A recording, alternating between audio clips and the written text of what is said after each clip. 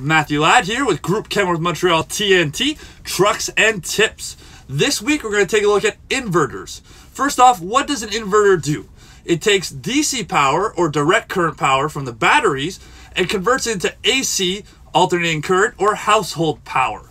This allows the driver to plug in a microwave, a laptop, or whatever else he needs to plug in to a household plug and run that instead of running the truck at nighttime, causing more idle time, which leads to greater issues. Today, we're going to take a look at an Eaton 1800 watt factory installed inverter. Let's go take a look.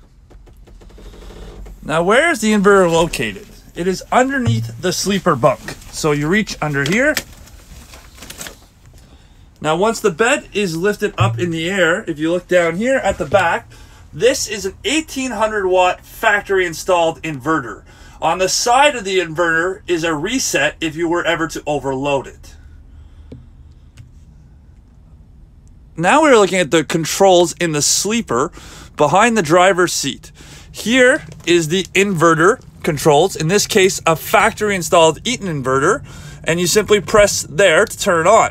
What's great about factory installed inverters is it already comes with two plugs, one located here next to the TV mount, and a secondary plug located here in the microwave storage space. So that's the 1800 watt Eaton inverter. I always recommend installing from factory as it already works with all the truck components and talks to the truck directly. If you need a larger inverter, you can also get one installed locally. When choosing an inverter, it's important to look at the products you want to plug in to make sure that you don't overload it. Now, all products will list the number of watts that the product pulls, it's generally recommended to add 20% to that total to do your calculations. And that's Group Kenworth Montreal TNT, Trucks and Tips, and I'm Matthew Ladd. Thank you.